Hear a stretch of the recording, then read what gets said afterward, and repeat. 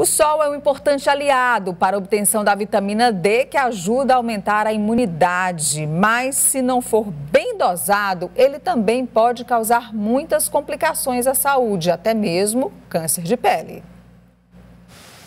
Erlich nunca teve cuidado com os olhos. Trabalhando sempre ao ar livre, não se preocupava em usar óculos escuros acabou adquirindo uma doença. Dois anos atrás eu tive um câncer no meu olho direito, graças a Deus já fui curado.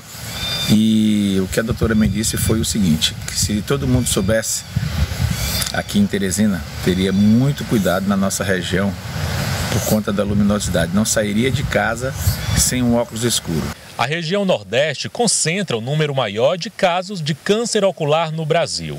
Segundo o Instituto Nacional de Câncer, algo que pode estar associado às altas temperaturas. Pode ser o da pálpebra, pode ser o, o celular, o espino celular, que são câncer celular mais leve e o espino celular que ele é mais agressivo e pode ter metástase no resto do corpo também. A médica ainda explica que, infelizmente, as pessoas não têm o hábito de fazer consultas e exames no oftalmologista com frequência. E muitas pensam que usar óculos escuro está mais associado à vaidade. Às vezes eu uso um óculos para o sol, né? Às vezes, não sempre. Nunca tive esse hábito de usar óculos. O olho não, só protetor solar no rosto mesmo. Só que é importante você saber também que não dá para sair por aí comprando qualquer óculos escuro.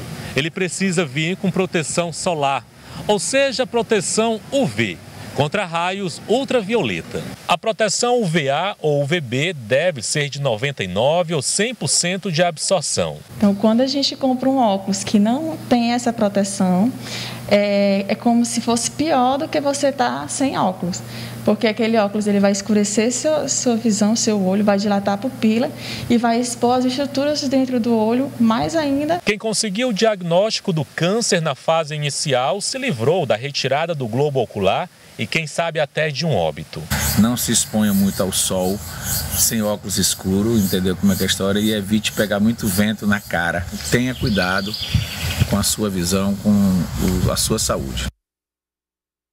Olha, o sol não tá para brincadeira, viu? Não tá para brincadeira mesmo. Às 5h48 em ponto, todo dia eu vejo o sol brilhando, nascendo, poderosíssimo. Então, os dias que virão pela frente são de muito calor e você vai ter que cuidar da sua saúde, seja do ponto de vista da hidratação quanto da proteção solar. É lógico que a vitamina D faz muito bem para a nossa imunidade, a gente já sabe, né? Mas o controle precisa ser feito, especialmente evitar os horários de entre 10 da manhã e 4 da tarde, quando o calor é muito elevado.